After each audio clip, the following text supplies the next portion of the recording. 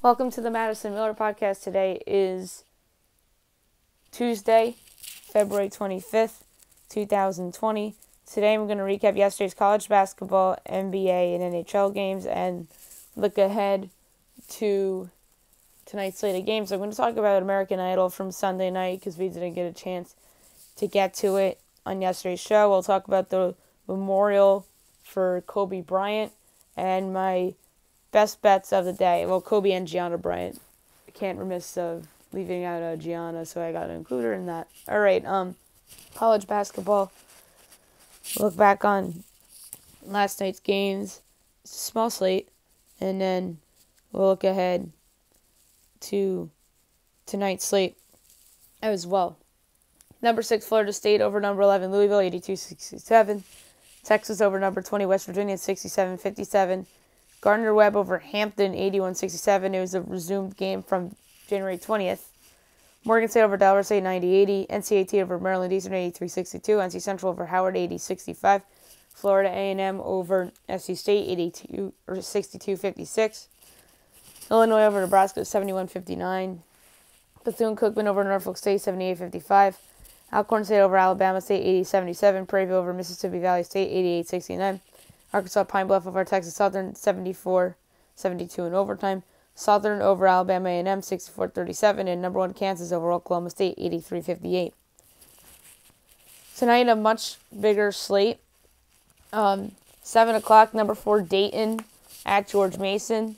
Dayton is a 12 point favorite. I have Dayton by 12 and a half, so I'm going to lay the 12 with the Flyers on the road. I don't feel super about it because it's a half point difference. I'm going to do it anyway. ACC Network number seven Duke at Wake Forest. Duke's favored by ten and a half. I have Duke by thirteen, so I'm going to lay the ten and a half with Duke. ESPN number eight Kentucky at Texas A&M. Kentucky's a six and a half point favorite. I have Kentucky by five, so I'm going to bet on the underdog here and take the Aggies. I think this could be a trap spot for Can- Kansas, Kentucky. Um, Kentucky's been playing real well. They're a dark horse for a one seed, in my opinion, with how well they're playing. So, um, give me A and M plus the the uh, six and a half. I don't know if they'll win the game outright, but it'll be competitive. Ole Miss at number fifteen, Auburn. Auburn's a nine point favorite. I have Auburn by fourteen, so laying the nine. ESPN two, number eighteen, Iowa. Number twenty four, Michigan State. Michigan State's a seven and a half point favorite. I have Michigan State by two and a half, so give me Iowa and the points. So that's a five point difference there and between the previous game with Auburn and Ole Miss. CBS Sports Network, DePaul at Xavier. Xavier's an eight point favorite. I have Xavier by eight and a half. So I'm going to lay the eight with Xavier. I don't feel super about it because the half point difference. LaSalle at Davidson. Davidson's favored by 11 and a half. I have Davidson by eight. So give me LaSalle and the 11 and a half. Akron at Bowling Green. Northern Illinois at Eastern Michigan, Miami of Ohio at Kent State, Toledo at Central Michigan, Western Michigan at Ball State, Buffalo at Ohio, ESPNU TCU at or Iowa State. Iowa State's a three point favorite at home. I would make this TCU by one and a half. So give me the road team getting the three points. I think they win the game outright. 8 o'clock ESPN Plus, Kansas State number 2 Baylor. Baylor's a 14 point favorite. I make this Baylor by a whopping 22. So give me Baylor minus the 14. Drake at Loyola Chicago. I have Loyola on my sheet, favored by 5.5. ESPN has it at 7.5, so two point difference. So give me Drake plus the 7.5. Missouri Valparaiso. Um, I make Valpo three and a half, and it's Valpo two and a half. So give me Valpo minus the points. ESPN two, number twenty-two, Texas Tech at Oklahoma. I have Texas Tech on my sheet favored by one. They're two and a half point favorite. So give me Oklahoma plus the points. Nevada at Wyoming. Um, Nevada's an eight point favorite. I have Nevada favored by eleven and a half. So give me Nevada minus the eight. NC State at North Carolina. I have NC State by six, and it's UNC by two and a half. Ooh. I love NC State getting the two and a half. Carolina's been finding new ways to lose games all season long. Like Cole Anthony, like I, he's good and all, but he's not had a good season. My goodness. So, NC State two and a half, and I have this as a, let's see, one, pick pick, one and a half, two and a half, three and a half, four and a half, five and a half an eight and a half point difference, which is nuts. Like, nuts. Clemson at Georgia Tech. Georgia Tech's a two and a half point favorite. Have Georgia Tech by one, so give me Clemson plus the points. CBS Sports Network, Memphis at SMU. I have SMU by two and a half. SMU is a four point favorite, so give me Memphis getting the four. Tulane at Tulsa, ESPNU. Tulsa's an 11 point favorite. I have Tulsa by 13, so I'm laying the points with Tulsa. Bama at Mississippi State on the SEC Network. Mississippi State's favorite by three and a half. I have it by five, so give me the Bulldogs minus the three in the hook. 11 o'clock CBS Sports Network. Colorado State at number five. San Diego State. San Diego State is favorite by 13 and a half. I have it 12 and a half, so give me Colorado State plus the 13 and a half because I have a one point difference. ESPN 2, San Jose State at Utah State. Utah State's favored by 22. I have it 18 and a half. So a three and a half point difference here. So give me the San Jose State Spartans plus the 22, although I don't feel strong about it. NBA, I'm going to go over last night's slate and look ahead to the board tonight. Um, busy last night. Sixers over the Hawks 129 112. Bucks over the Wizards 134 137, 134 in overtime. Cavs over the Heat, 125, 119 in overtime. Magic over the Nets, 115, 113. Rockets over the Knicks, 123, 112. Mavs over the Wolves, 139, 123. Suns over the Jazz, 131, 111. Clippers over the Grizzlies, 124 to 97. Tuesday, 7 o'clock. Hornets at the Pacers, 7.30 TNT. Bucks at the Raptors. Milwaukee's a one point favorite. I have Milwaukee by one and a half. I was hoping that this number would be higher than one and a half. If this line goes up, I'm taking Toronto. Like, it's the loss of. If Brook Lopez is out, then I would make it the same number, which I believe he is out. So I'd make this the same number, Milwaukee by one. I had one and a half written down, but according to um, my spreadsheets and whatnot, the players worked on the spread. Brook Lopez is worth a half point, and he's out. So, Milwaukee by one is what I'd make it. Um, so at gunpoint, the Raptors is my take there, and I think the Raptors win. Although my number's even. Thunder at the Bulls. Um, Celtics at the Trailblazers. 10 o'clock TNT, Pelicans at the Lakers. Lakers are an eight point favorite. I make this 13 and a half, so give me the Lakers minus the 13 and a half. If there's injuries, this line will obviously uh, move for me. Kings at the Warriors at 10:30. Um, in terms of the rest of the games, Pacers are giving 10 and a half. It's 11 and a half. I'm even with the market on the Raptors Bucks game. Thunder at the Bulls. Six and a half. I have it seven. Pistons at the Nuggets. I have Denver um, giving 16 and a half. In my sheet, they're giving 12. So that's a four and a half discrepancy. Celtics at the Blazers. I have Boston giving 11. That's because of the Lillard injury. If Lillard was there, it'd be Boston 6. I'd have it, but no Lillard, so it's 11. Lakers, I have 13 and a half, and it's 8 to 5 and a half discrepancy. And Kings at the Warriors, Sacramento's giving 6. I have it 5 and a half. NHL, we'll look back on last night's slate and look ahead to tonight's slate. Um, only one game. Blue Jackets over Senators 4 to 3 in overtime on a goal by Emil Bemstrom. So a big two points for the Blue Jackets. They separate themselves from the Rangers and go up six points. So the team now that's out of the wild card is Carolina, um, who has 74 points, who made obviously the big trade for Vincent Trocheck and shored up their defense. So they're two points back of Columbus now. So Columbus ends their losing streak against the bad Senators team. I was gonna bet the draw in regulation.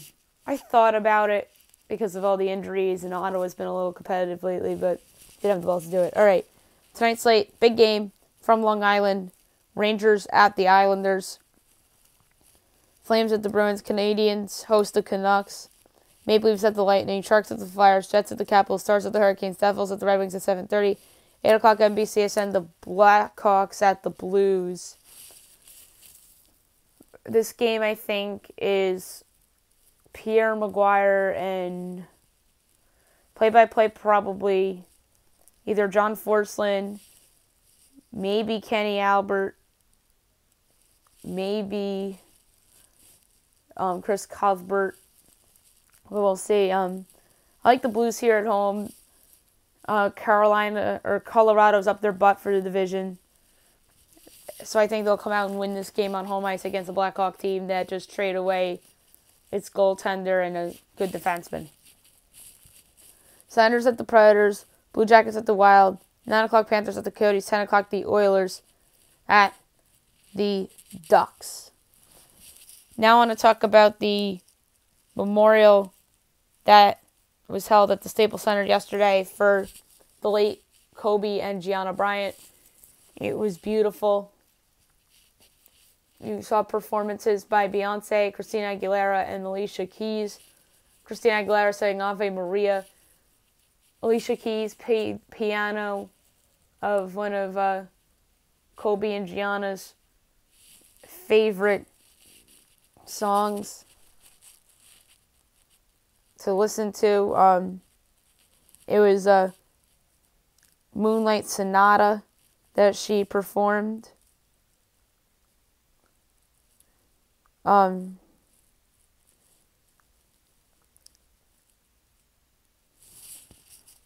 Beyonce sang Halo, her hit song from 2008, 2009, whenever that came out.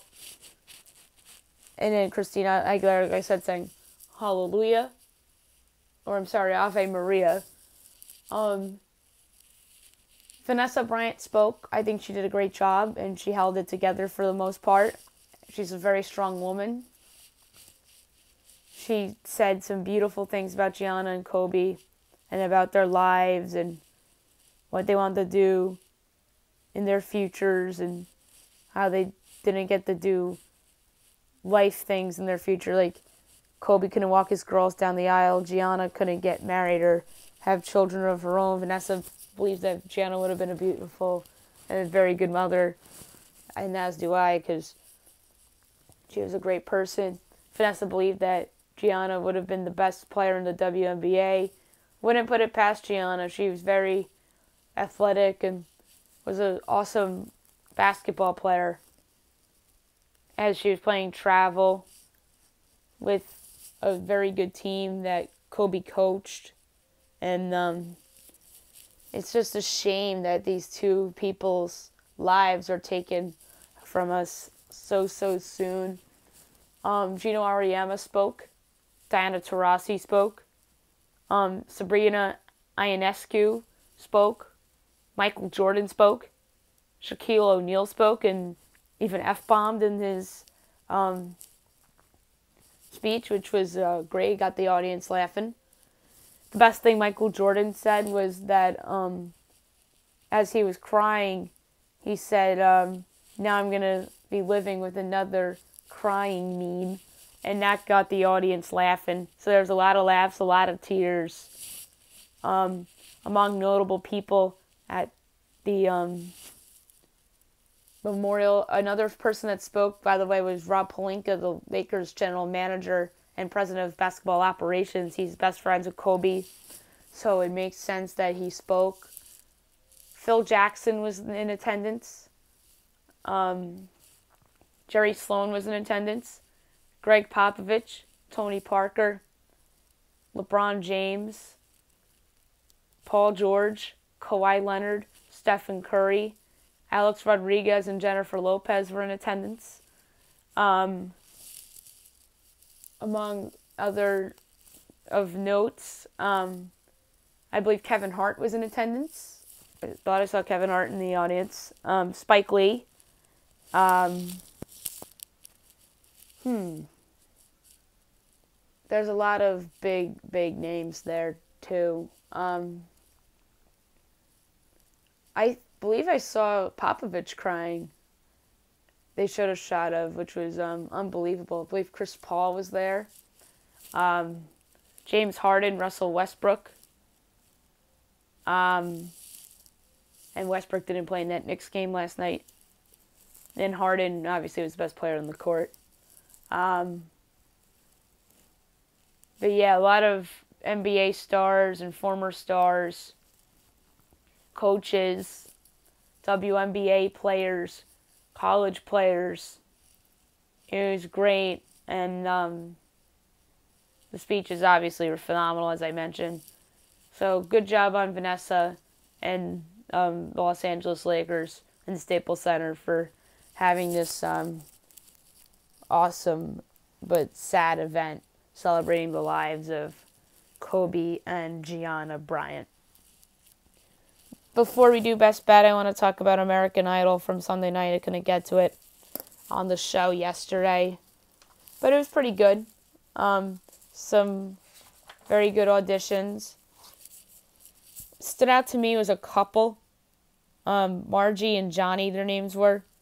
Margie, 26 years old, music teacher. Johnny, I didn't get his age. But my big takeaway was that Johnny's audition was better than Margie, and I think Johnny will go further on the show. And Katy Perry's absolutely right.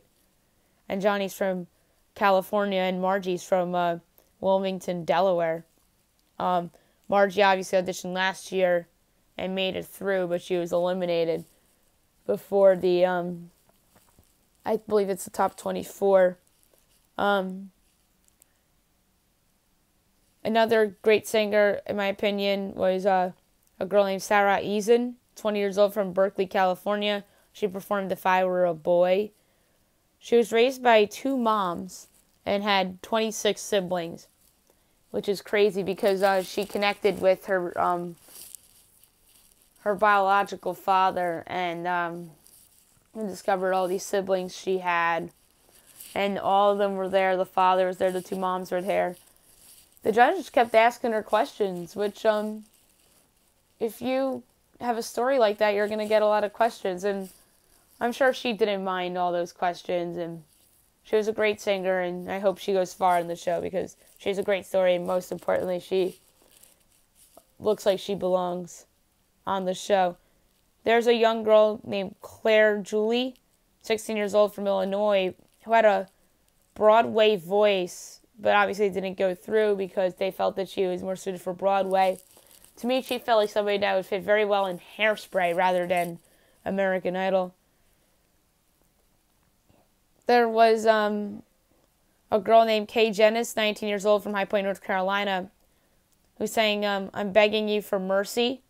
Um, the judges want to give her a second chance. Two of them, um, the judges didn't feel strongly about her. So they take her to downtown for a second chance with a group of people. And then they all, um, the people agreed that she deserved a second chance. So they sent her to Hollywood. Um, then there's a boy named Kyle that sang uh, Mercy by Shawn Mendes, who was an Eagles male cheerleader who was a good singer and made it through to Hollywood. Um, there was a girl named Julia, 21 years old, who um, who made it through. Katy Perry ran up and gave her a hug after her performance because she was so good. Um, and there was another couple, Kurt and Hannah, from Texas. Kurt did not make it, but Hannah did. So um, Hannah was obviously very talented. I'm interested to see how far she goes, and obviously, um, next Sunday's show, I believe, will be more auditions. All right, best bet of the day, brought to you by FanDuel. Um, college basketball, um, I gave it away because I can't believe how overvalued North Carolina is right now. NC State is going to win this game pretty easily, at least by five points.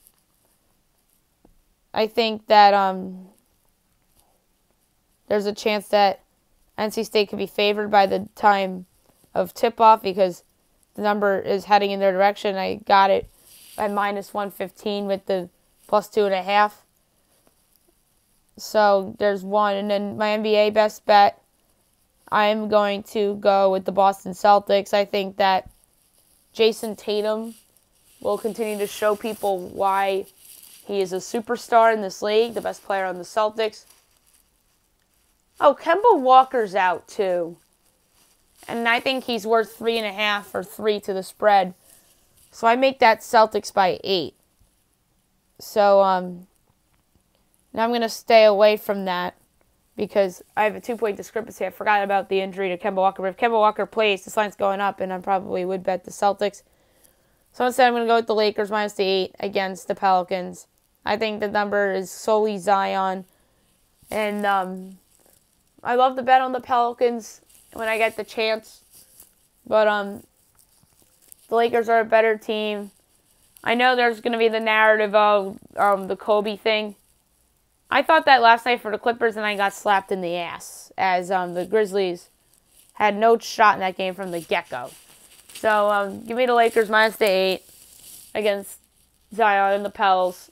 It'll be a competitive game. I'm going to say the Lakers win by 10 points. But if Anthony Davis doesn't play, I'd obviously make this line 10 around that. So um, that's it for the podcast today. I'll be back tomorrow um, afternoon. I'm going to be recording um, college basketball, NBA, NHL. I'm going to do my NHL redraft from 2019. Um, maybe I'll also do my first um, bracket reveal of this nice stretch. I'm going to be doing bracket reveals. I haven't done a bracket thing since the opening day, so so much has changed from now and then and teams and whatnot. And then I want to do an NFL mock draft at some point. We'll do that probably on Thursday because we'll probably be at that point eight weeks until the draft, maybe even seven. Hope you guys have a great day, everybody.